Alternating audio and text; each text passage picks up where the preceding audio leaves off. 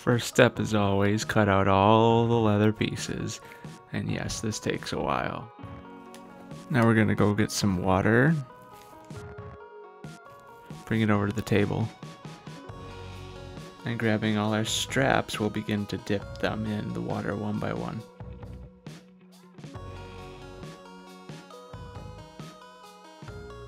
I'll grab my wing dividers and I'll mark a line on all the straps just to add some decoration to them. Now we'll let oil rain from the heavens generously to apply onto our leather straps. This will help with waterproofing all the little parts. And also as you'll see in a little bit, it makes them more flexible. Look how easily it bends. Here's a piece that doesn't have oil, you can see it doesn't really bend as much. Now we'll begin to apply the Kanaba cream and Resolene. I find it's best to apply it in light, even coats. Now I'll dye the bigger pieces brown, both the front and the back. I found it's best with Resolene to go as fast as you can with a cloth to cover as much surface as possible. Now I'll bring over my press so that I can press in my logo in one of the pieces. I'll line it up and pull on the lever to lower the press.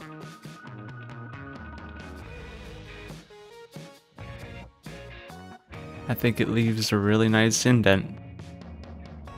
I took some Tokonole and I put it on the back of the leather, the fuzzy side, just to slick everything down and make it nice and smooth. I found a good tool for this is just one of these cheap spongy brushes. I've tried using other things, but this seems to work really well. And now we'll just slick it down. My original plan was to burnish every edge by hand, but after seeing how many straps I decided to get a little help from electricity and got my Dremel. I used to use a product called Gum Tragacanth to slick down all the edges, but Tokonole just seems to be the absolute best. I just finished burnishing a whole bunch of straps. I got one left and I couldn't be happier. See all these? Done. Last one.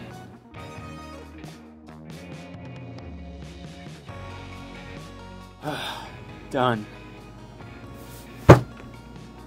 Those are all burnished. I just have to attach this to the back piece. I've already roughed it up here. So let's do that now. Before I test, or before I put a rivet on my actual piece, I should probably test it out on some leather here first.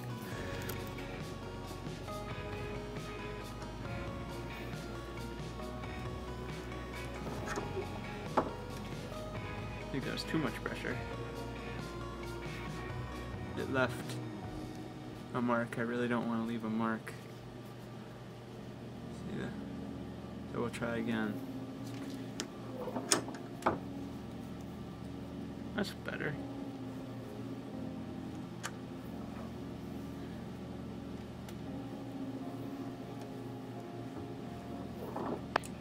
Last one. Let's not mess up now, that would suck.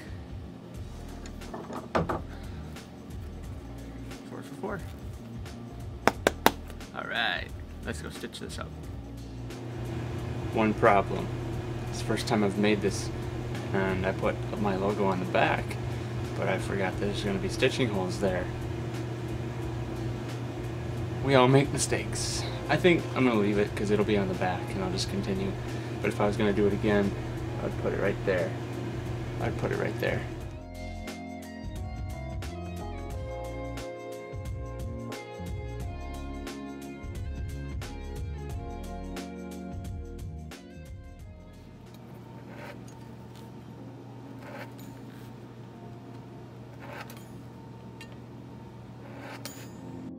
Wrong to start talking after that, so I'm going to let you enjoy this for a little bit.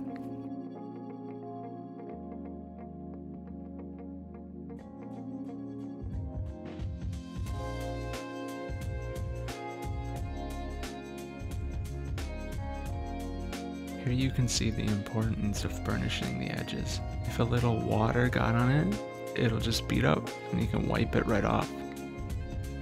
All that's left now is riveting all the pieces on. Here are the two shoulder straps done and riveted on. One thing to note here if you do this yourself, for these three holes that are meant for rivets to hold on the buckle, I actually ended up using a smaller one than the 8mm standard size, and I think it looks really good. So at this point I noticed that I forgot to include belt keeps, so I just make my own here. Again, if you're making this, try not to forget this step. It's a bit of a pain to do after the fact. I was actually going to switch over the thread to be hidden, but I liked it so much I kept it on the outside.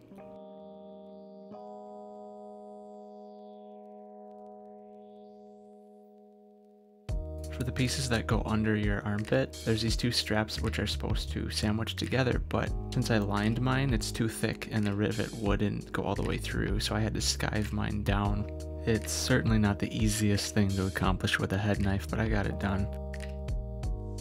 And yeah, there was on one that I messed up, and I had to make a new strap.